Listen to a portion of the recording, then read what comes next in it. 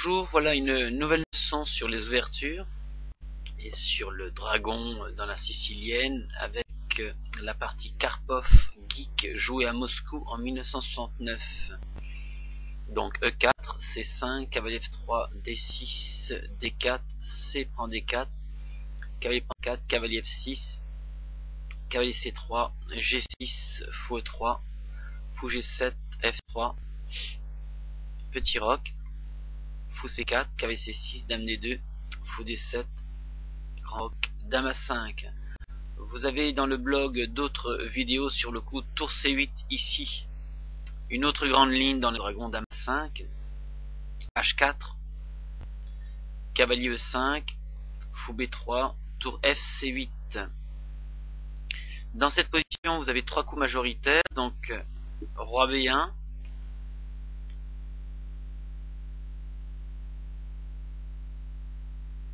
G4 et le coup de la partie H5, donc une variante qui induit un sacrifice de pion pour ouvrir la colonne H. Donc cavalier prend H5, fou H6. Dans la partie geek a pris le fou en H6, mais vous avez une autre variante ici sur laquelle Karpov s'était préparé, mais il n'a pas pu vérifier ses analyses puisque Geek a pris en H6. Le coup est tout à fait étonnant, ce qu'avait des 3 mais une fois un peu analysé, c'est pour ça que c'est pas si complexe que ça, puisque sur C prend les 3 les noirs reprennent en D4 avec une grosse activité, notamment due au clouage absolu du cavalier C3. Sur Dame prend, récupère en H6, n'oubliez pas que les blancs, pardon, les noirs ont déjà un pion d'avance, donc là deux positions très favorables pour les noirs. Et le troisième coup qui est roi B1, cavalier prend B2 avec euh, nombre de complications. Revenons à la partie, donc fou H6, fou prend, dame prend, un coup qui peut paraître étonnant,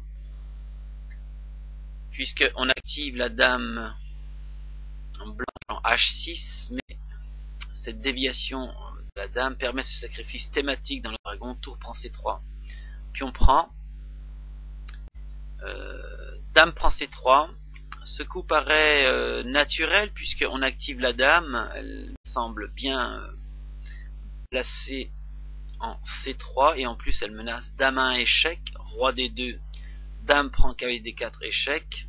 Cependant, après cavalier E2, euh, s'aperçoit que ce gain de cavalier est terrible puisqu'il va venir donner un coup de main en G3 et F4 et Karpov considère que ce coup dame prend C3 est déjà le coup qui perd. Les deux autres options qu'il faut absolument mémoriser dans cette position, en fait, sont cavalier F6 avec 22 gains noirs, 3 gains blancs seulement, et une nulle. Vous avez une autre option tout à fait correcte pour les noirs qui est tour C8 avec 9 gains noirs, 6 gains blancs, 9 nuls. Donc revenons ici. Geek Dame prend C3, Cavalier E2, le coup euh, puissant. Ici, Dame C5 fait jouer dans la partie. Vous avez une autre variante avec Cavalier D3 échec qui semble séduisante parce qu'elle simplifie la position en faveur des noirs. Mais sur tour prend D3, Dame 1 échec, Roi D2, l'astuce elle est là. On récupère la tour ici. Vous avez G4, Cavalier G3 seul coup pour ne rien perdre. Dame prend, cavalier prend, roi E3 et le cavalier noir n'a plus de cases. Les blancs vont le cueillir avec tour D1 et tour prend H1.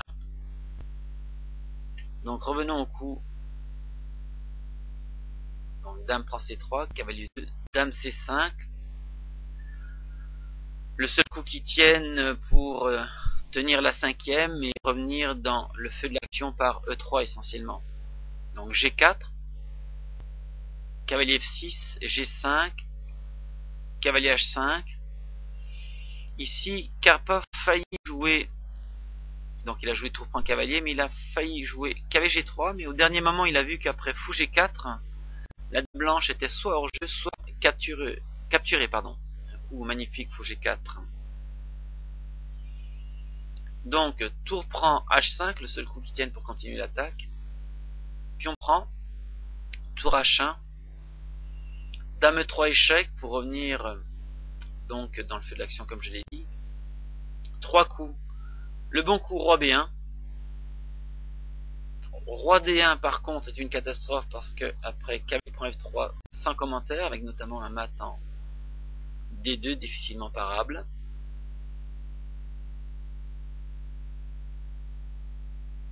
Et sinon roi B2 avec une variante de nul puisqu'après cavalier D3 échec on prend dame prend 2, roi 1, dame prend d3 avec au minimum un perpétuel. Donc revenons à la partie ce joli coup, joué par Karpov. Très précis, roi B1. Je vous économise les analyses fastidieuses et complexes sur E6 et Dame prend E2. Directement dans le cœur du sujet après Dame prend F3, ce qui fait jouer dans la partie tour prend. Avec ici un mat en 2, dame prend. H7 échec, roi fuite et dame H8 mat.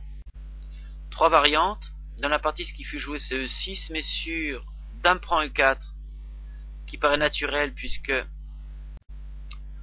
on, euh, récupère un pion et on tient H7. Vous avez ce très joli coup. Euh, G6 sur dame prend tour G5 sans commentaire, la dame est perdue. Et sur K prend G6, vous avez Dame prend H7 échec, Roi F8 et Dame prend F7 mat.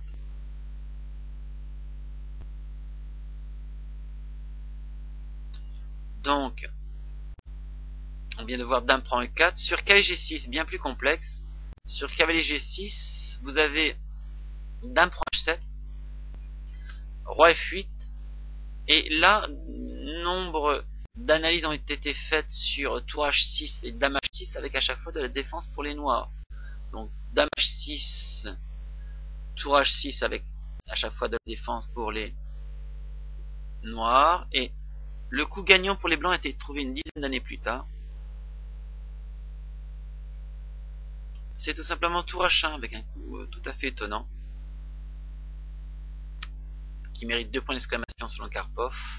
Je vous donne un petit exemple, par exemple E6, cavalier D4 qui est un coup euh, terrible, attaquant la dame qui ne peut pas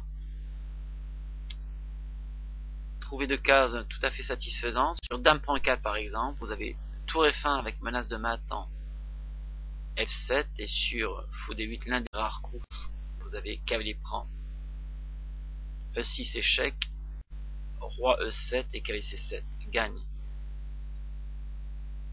Donc on remet la position parce que le coup est tout à fait euh, magnifique et pas du tout évident à trouver. Il n'a été trouvé que 10 ans plus tard. Le coup qui gagne ici est tout machin. Sinon revenons à la euh, partie. Ce qui fait jouer dans la partie ici. Donc c'est E6. G6 encore une fois le coup euh, gagnant. Sur H7 prend G6 évidemment il y a Dame H8 mat. Sur F7 prend G6, Dame prend H7, F8, Dame H8, Roi 7, Tour H7, Cavalier 7, Dame prend tour avec position gagnante pour les pour les blancs. Alors revoyons, Dame prend F3, Tour prend H5, E6,